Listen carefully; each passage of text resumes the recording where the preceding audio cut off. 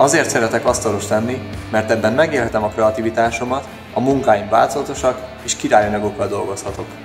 Kiskoromtól érdekelt a fa és a szerszámok, ezért faipari iskolában érettségiztem, majd asztalosnak tanultam tovább. A versenyre azt üzenem magamnak, ha Isten veled, ki lehet ellened. Szurkolj te is a magyar csapatnak szeptember 26-a és 28-a között!